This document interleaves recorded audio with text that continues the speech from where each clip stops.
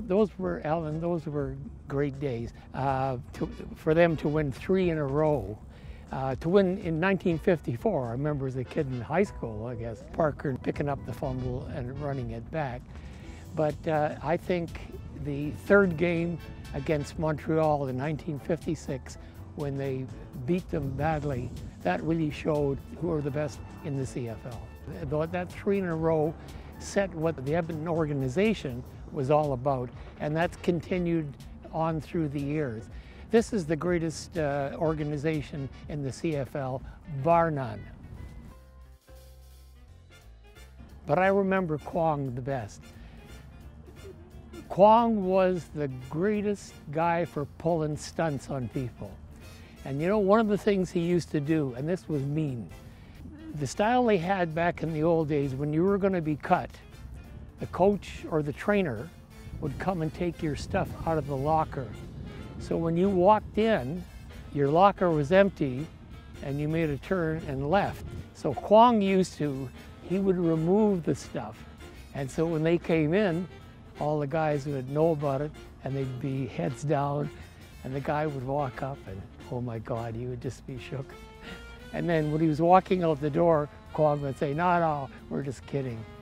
But this was, this was a horrible thing.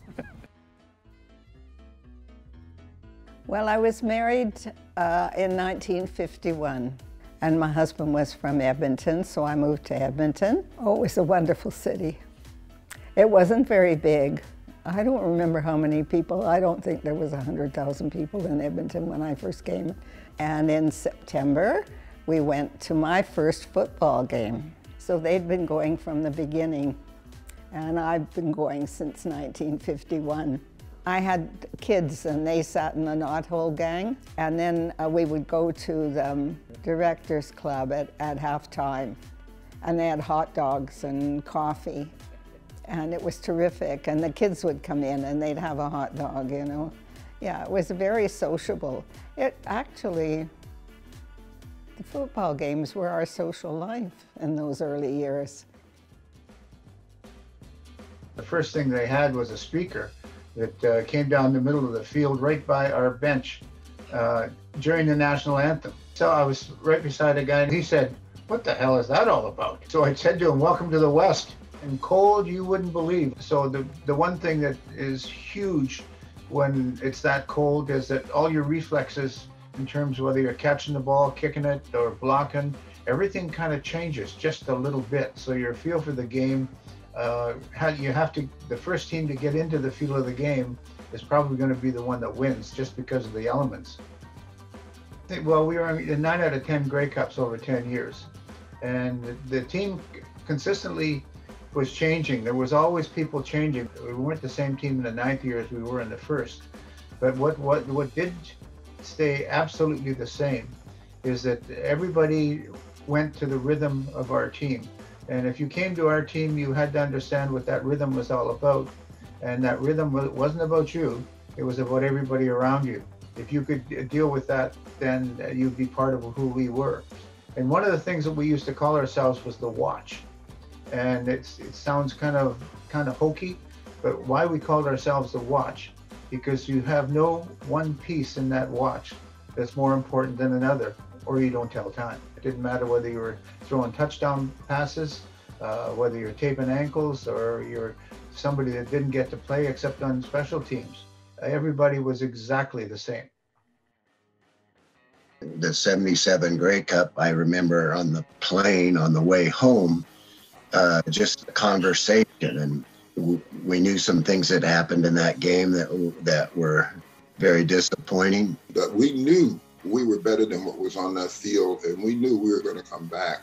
And we learned about losing in '77, and we all decided that that wasn't something we were happy with. So in '78 is when everyone, when they knew the true story, from that point forward, we were like, you know, we're going to beat the hell out of them every time we see them. That was our motivation from that point forward. That entire year was a year where we felt we had to redeem ourselves. We were determined, I think, that uh, that, that was the only goal that we were going to have was to, to win that Grey Cup. Well, I don't know. We went several years, maybe six or seven years without losing to Montreal again.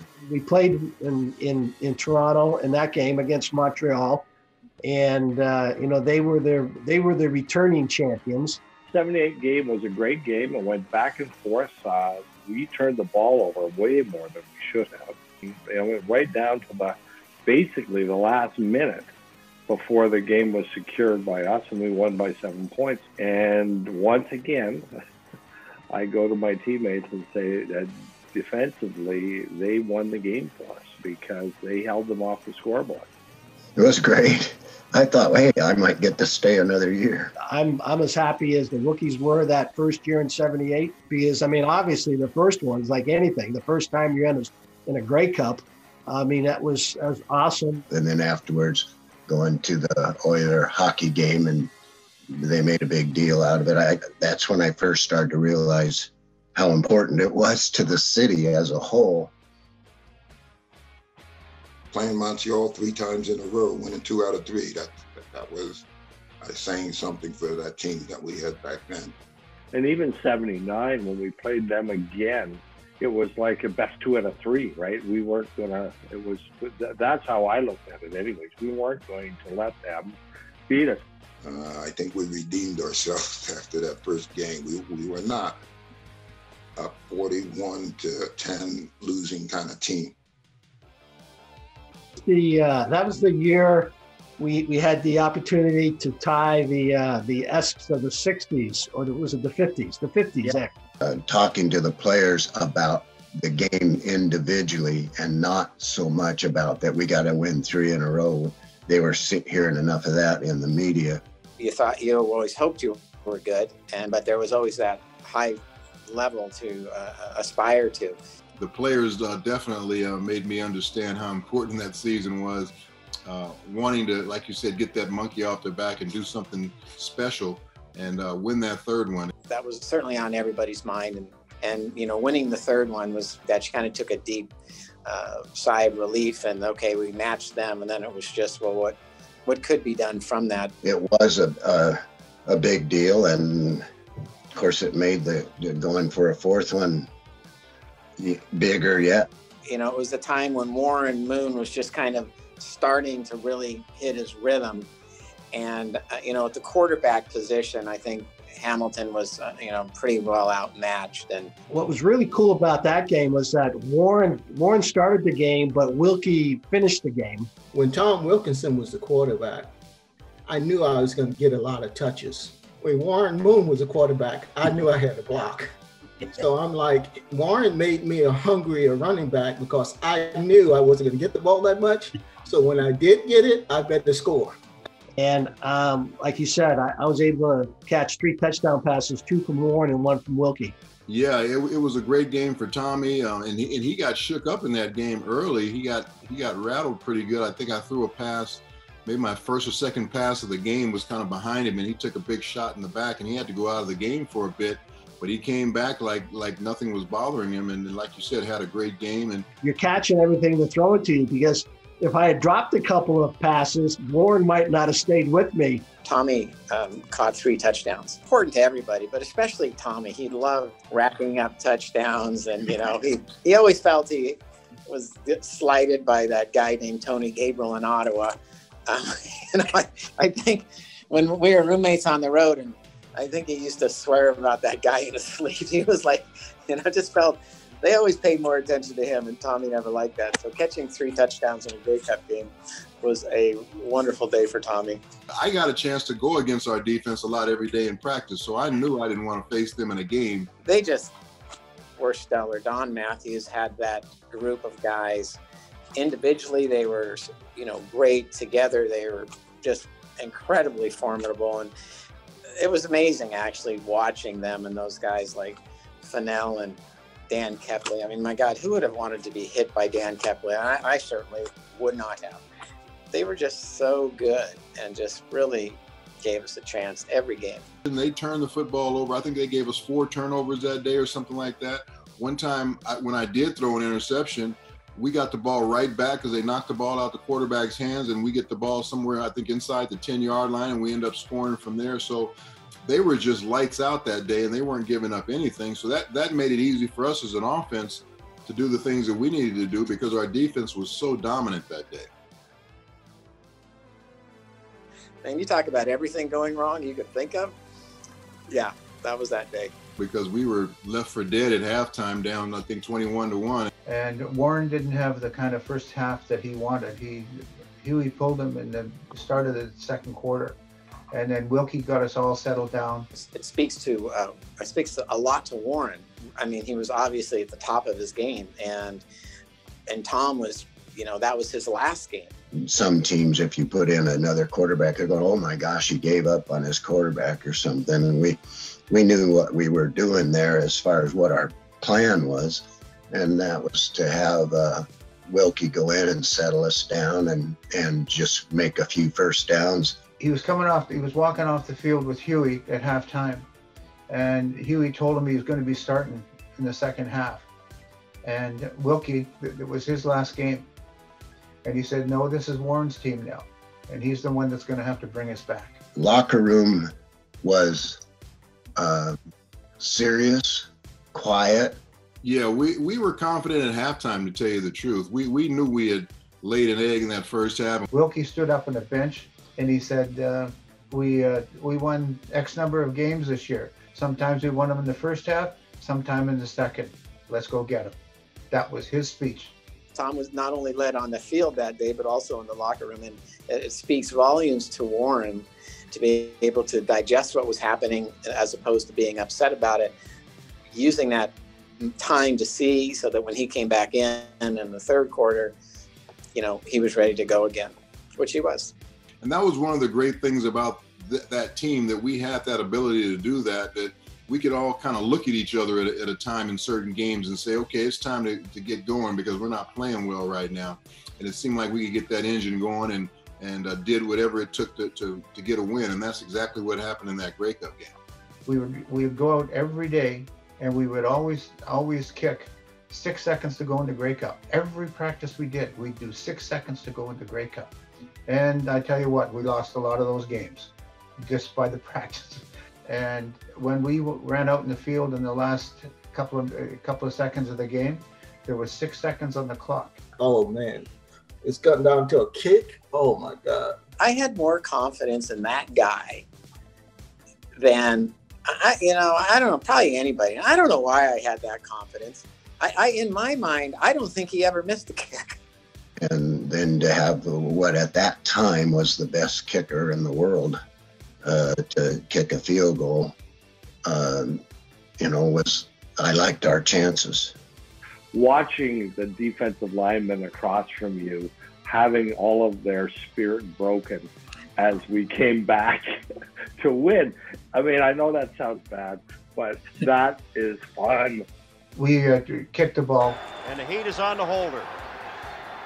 He's got it. No run back. That's a field goal. The Eskimo. Wilkie stood up, didn't say nice going or anything. They said they fell right into our trap. That was the end of the game and Wilkie was the quarterback. And as a matter of fact, let me just say something about Wilkie. He is probably one of the, the best leaders I've ever seen in my life. And uh, you know, he called me Junior, and um, and he started calling me that from the day that I got there. And he he welcomed me with open arms. So he really really made my transition so much easier. And it, it, it didn't have to be that way, but it was because of the type of person that he was. I first made it to training camp. I come in from practice and I had, you know, you take off your dirty clothes and put them in a bag. So I threw it to Tom Wilkinson because I thought he was a manager. okay. Because when you look at Wilkie, you're like, you're the quarterback? And uh, he was all about team. He was all about doing whatever it was to make the team better, even if it meant uh, him maybe losing his job one day. He was going to help me. And, and I really, really appreciated that. He was, uh, there's a picture of him carrying the Grey Cup He's that's right. He's carrying the Grey Cup in one hand, and he's got a toothpick in the other. And I'm watching him walk towards the bus, and that's the last time he walked towards the bus when he played for us. You know, Warren and I hung out. We we went out to dinner the night before the Grey Cup. We were eating, and then Warren never talked about what he wanted to do or if he wanted to be the MVP of the Grey Cup. But this night he said, I want I'm going to shoot for the uh, the MVP of the game. And so I looked at him and I went, damn. And I said, waiter, let me have a piece of cake and a glass of wine because I knew I was going to get the ball, but I knew I would be blocking quite a bit. So I tried to beef up my weight the day before the game. The offense, me, you know, they put on a show 32 in the last game in the rain. We had a pretty good team as far as attitude. I mean, it could snow or rain or the wind could blow, and it doesn't mean we liked it, but uh, we were ready to play in it. Which I still remember Pat Marston saying, well, if it didn't rain, Toronto would have. And I'm thinking, well, wait a minute, we're playing in Toronto. We they kept us up all night yelling Argos. We got a Toronto crowd, but uh, we have the advantage because it only rained on their side of the field. As that game started to end and, and Warren was able to uh, kneel down, I felt like we had gone full circle in in Warren's development. So I, I just felt like Warren's ready now for the big time. It just was uh, all about team play, and a lot of guys sacrificed some uh, extra fame they could have had by being the one big star, but uh, they kind of got left off of all star teams and all of that. But we kept saying there's one prize they don't vote on, and we're going after that one prize. It took a lot to play for our team because it was we were so different than everybody else. So once you started thinking nothing but team, then um, it was the rest was a lot easier than it would normally be. Oh my God, we had we had speed, we had smarts, we had strength, we had intelligence. I we had leadership. What else is needed for a team to be a championship? I don't think there's anything else you need to be a championship team. We've won we won five Grey Cups in a row. I don't think anybody in any professional sport of any kind has done anything like that five times in a row in a team sport. So you don't realize how special that is until you're away from the game for a while. And then you understand, man, I was part of a team that was able to stay together long enough and win five straight championships and it's really a special feeling to know that you were part of something like that. Things that I took, I personally took as much pride in anything that I was lucky enough to uh, accomplish in Edmonton was always being on that team. I never played for another team. I never could have imagined playing for another team. And it's the same with all those other guys. The thought of of ever being somewhere else was just horrific and like just undoable and when I when I see these guys and have a chance to to talk to them or, or we get a chance to interact, it's almost like we never left each other. That's how close a football team we were, both on and off the field. Just great, great relationships, and that's what you um, you relish most out of winning those championships. Those things will never leave you. You will always be a part of championship teams, and we, we will always be a part of those five, especially that core group of guys that were together, and that'll that'll bond us for the rest of our lives. 86, we were in the Grey Cup and we played Hamilton and we lost. It was a real goal for us to get back again. And uh, we really wanted to get back in 87. I said, you know what, guy, I've been here. Let me tell you something. You don't want to be in this locker room if we lose. You know, you don't want to be in this locker room. I want that ring. Lance Truman, he pushed it to the right. He pushed it to the right a little bit. I know the lineman was coming down the first, and he had he didn't have an angle on me, but he tried to keep me from going outside. So what I did, I made a little step inside. And then once I got outside, I mean, we had a wall of guys. But we knew that every time he, the ball was in his hands, there was a chance that we were gonna we, we were gonna have success. And uh, I remember how he jumped over. I think it was Larry Ruck. He might have jumped over. And all of a sudden, like I'm outrunning my blocker, so I slowed down for Stanley Blair to make another block. And then Dunn is still running. I'm like, Dunn, it. I'm telling him, go get the kicker, go get Lance, you know. You know, I had the best seat in the house watching Henry run by the sidelines, knowing that nobody was going to catch him. But it was also amazing how many times he was caught by a, you know, a slow white kicker with uh, hockey shoulder pads on, and and, and Lance Chomyc got to his ankles like on the one yard line, and Henry had to fall into the end zone. And Lance did. He did catch me in the end zone. But that's one of the things I can remember in that game. That was it was a big game, and and Matt had been knocked out of the game, and Damon came in, and we were, you know, uh, uh, I, I, I, don't think we were doing real well at the time, and, and Damon came in and won the game, and uh, or helped us win the game.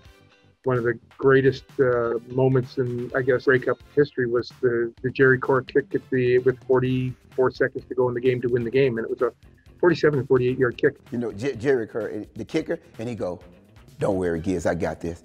And I'm saying to myself, and Jerry was always cocky. You know, I'm like, Jerry, you really got this? He go, I got this. I said, you sure? He said, yeah, I got this. And uh, but Damon had to come off of one knee to grab the ball because I, you know, I was gripping it pretty tight with the uh, pressure on, you know, and uh, and I launched it a little high, he grabbed the ball, put it down, Jerry Kauric kicked it through, and uh, their long snapper, he was the first base I saw. As I hit him, and I could see that the ball go right over my head, it was going right for the goalpost. I was going, it's in, it's in, Vern, it's in. And he's going, no, it's not, no, it's not. He wouldn't look. but we still had 40 seconds to go, and uh, they uh, they had an opportunity to come back, and I think they moved the ball up to somewhere around the midfield, and and then ultimately lost the ball on down. Um, it was an unbelievably exciting game to be a part of.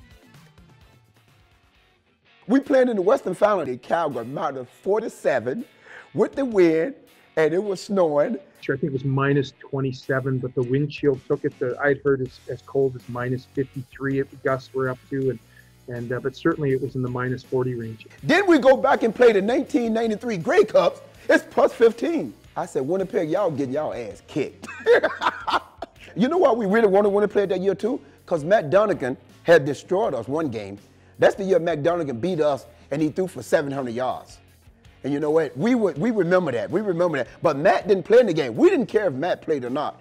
So now we're playing against uh, forget who it was was the uh, general manager's uh, son-in-law was the quarterback, and uh, and you know it was a close game. They had some fantastic players on the team, um, and um, point where nobody was really scoring a lot of touchdowns. And, and uh, Sean Fleming had to be really big. Like I think he kicked seven field goals or something. Yeah, it was a, it was a tight game. And had Matt Dunigan been there, it might have been a different story. But uh, I remember being interviewed uh, after the game, quickly coming off the field. And what do you think about the game? You know, and Sean Fleming being the top Canadian, and and I said, well, if he wouldn't have missed that one in the early in the game, then we wouldn't have to worry about it at the end of the game.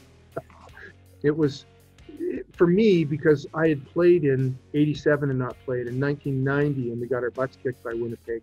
This was uh, such a big game because I, I had played the whole season and had a big part of this game, and, and I knew what personally the struggles that I'd gone through from a physical standpoint. Like I honestly thought, Alan, that after that game that uh, I that was going to be my last game because I didn't know how my knees were going to be able to handle it.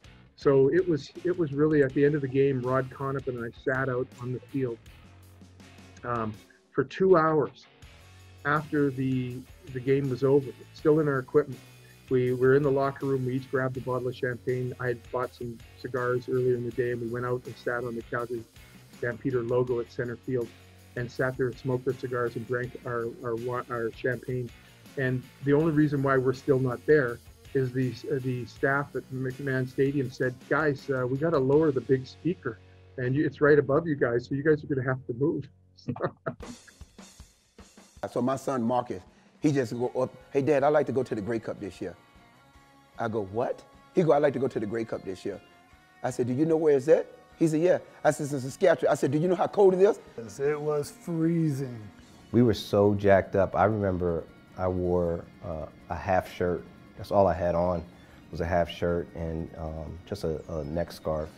So we go to the Grey Cup game. And it's freezing. We sitting up on the top rail in the open state, and I go, yeah, you know, he ain't gonna stay here that long. So at halftime, we go in the bathroom. That's the warmest place in the place because everybody crowded there. He go, okay, Dad, let's go back. Um, back then, they didn't have field turf. They had old AstroTurf still. And by halftime, like there was a sheet of ice over top of it. And we were in the locker room contemplating coming out in full cleats because it was we had to crunch through it and break through it because guys were slipping and sliding all over the place. My son stayed out there the whole game. I mean, I froze my butt off out there. But I'm serious though, it was a great game because we won that game though. It, it was a revenge, a, a rematch really, because we lost here in Commonwealth in front of our home fans, and I would say it was a home game really. The Grey Cup was, and and to lose the way we did um, and to have the opportunity to beat the team that beat us. You know, that, that was kind of hanging over us. We didn't perform very well offensively or defensively in that 0-2 game. Uh, we were so fired up. We just knew we had that feeling that we were gonna we were gonna win this game. And Glenn Cahoon made that one-handed catch And we all just remember that Pat Woodcock made the play here, the, the big catch here, and that kind of got us down a little bit. I just remember on the sideline, it was like, not this year, not everybody was yelling, not this year, not this year. Those, that's, that's what I remember. I'm still getting chills right now thinking about it. When I look back, I think offense. To me, in my mind, we were an offensive juggernaut that year. Tuck had an awesome game, awesome game, MVP of the game, and you know he made that one really great catch by the uh, stands that they had had put up, and it was just unbelievable. Ricky Ray, you know, played a great game. Our defense was was top notch, especially in the second half. Defensively, all we really had to do was just minimize what, what opponents did to us because we knew we could outscore anybody. They're being modest. You know, they, they held Montreal's offense to one point there in the second half. And for who they had on offense was, was pretty, that's, that's, that's a lot, that's saying a lot. So to know being in this 0-3 game that, okay, we're doing it, we're putting up points, this is who we are and we're comfortable with that, um, it just gives a lot of confidence to be able to know that we're, we're going to do this thing, no problem to me that 2005 game it was it was not only the sort of the culminating game between us and Montreal like we really didn't like them like they, there was something about that team that we didn't like we did not we didn't really respect them as a team we thought we were better than them the whole time and I remember during that game, a lot of us thinking and, and, sort of playing along those lines of just like, look, we're not losing to these dudes. Like, we're not going to give them the upper hand on us in, in, in the number of Grey Cup victories. I felt in, in 05, defensively, we, we really hung our hats on how tough we were going to be defensively. Um, we knew that all we had to just get the ball back as many times as it takes for the offense to score, and eventually they will. You know, Ricky was on, so I I wasn't too worried. Seeing that Ricky was seeing everything the right way, you, you were pretty confident that you were going to win the thing. We were just like, we just got to give him time. Like if we give him time, we're going to win the game. You know, and then when you have your special teams returning kicks for touchdowns in the biggest great game of the year, it lets you know you're complete. And out of a punt return in a Grey Cup, which is kind of a cool deal as well. It's for two yards, but it was a punt return nonetheless. Uh, another thing about that year, uh, talking about Jason Maas, is I hang my hat on his approach and professionalism for that run. Ricky was our quarterback, but Jason was, you know, everybody really respected Jason, and for him to come in and and do that you know, it, it, was it was a real galvanizing moment for us as a group, and we, we knew we could count on everybody in the in, in the huddle, and we knew we could count on Jason or Ricky, whoever was going to play. Uh, the way he was in and out brought us back in both playoff games, and going into halftime of the Grey Cup, we're almost in that same situation: is do we make the switch? And Maas said, "Hey, listen, this is this is Ricky's team. I'll be here if you need me. Let him follow through," and and he did, and we came out in that second half and lit it up. Well, one of my favorite memories, and I hate to just be like it's a personal deal, but in that in that 2005 Grey Cup, um, right at the end of the game, where it's critical to, to make a stop, it's critical to, to keep Montreal from scoring. They're they're in that semi field goal range, and here comes our field goal return team on on third down our defense runs off, and I was on the field goal return team as well. And I look over, and it's Calvillo and the entire offense getting ready to run a play. And we have our field goal return team out. So at the split second, I'm thinking, okay, what do we do? We don't call timeouts. Rule number one in the CFL is there's no player who will ever call a timeout. You got one, and that's the coaches. Um, so I walked up and smacked the offensive lineman, drew a five yard penalty, brought our defense back out on the field to defend their offense. Um, had we left that group out there, Anthony Calvillo would have lit us up. I have no doubt in my mind. So um, a penalty is a, usually a negative experience, but, but for me in that moment, I, I felt that that was a, one of my better plays that I've had in football. I knew that we had a, a, very veteran group and we had a team that was like we'd been through a lot that year. The journey we had took to get there. You lose your star quarterback, now you're using your bag ups. You know, it was moments where our offense couldn't even put up points. We like was totally relying on the D, and they was scoring. So I mean, we coming into the game, we had like 13 points scored on us before we even got onto the field. But I looked down the sideline, and I was honestly like, we're all right. Like, I and I, I think that that was the kind of feeling throughout the sideline was like, we're okay. Those moments in Ottawa when they went up two, as nervous as it looked, we was confident that if we did what we needed to do, it was it was on our side. Pat got the interception, then we came down, and then. Uh, we got to the end zone, scored. that was the moment, like I say, when D Walt looked at me in the end zone, he said, That's all we need. That's what we needed, big bro. Because the team that we was this year, we knew that, that we just needed that we just needed a step. And that was our step, and then we knew we could get the running. But we were like that all year. Like we were there was never really times where we could just put it in neutral and just kind of, oh yeah, we got this. You know what I mean? Like it was, we're fighting till the end, and we're gonna we're gonna scrap it out, and we're gonna come out on top, and like, and that, that's how it kind of went all year. It was amazing with the the different packages we was able to use. You know, I remember Jordan Lynch from when he was in college, man, the great Jordan Lynch. You know, for Coach Jones and our offense to rely on this guy, you know, in a time like that. Like if you don't get it on third and one, like you're you're you're very disappointed in yourself. You're disappointed in the unit as a whole. Like we've got Matt O'Donnell, who's like one of the biggest people in the CFL. We're like we're gonna put our head down. We're gonna get behind him and Justin. And we're gonna go, we're gonna go. The moment of the game, the, the what we need done, and he we hear the play called in or signaled in. We were signaling plays at the time. And we all kind of laughed like, what? Mike was even like, what? The handoff to AD? I was like, what? You know what I mean? And uh, it worked. You know what I mean? It worked. In my head, I knew I had a bunch of plays that could happen that game. That was like at the bottom. I don't. Even, in my head, I didn't even put it on there because I'm like, and it ended up being, the, you know, the last play of the game. The most memorable play was that one. You know what I'm saying? For me, being everything that happened before, leading up to that, meaning the competition, the touchdown, the coming back, but to end the game with that feeling, like I said, it was it was pretty cool. You know, I, I once again I say thanks to Coach Mack, Jerry's, Coach Coach Jones. You know, because see at the end the call that play was kind of cool to me. And uh, I think the rest was history after that.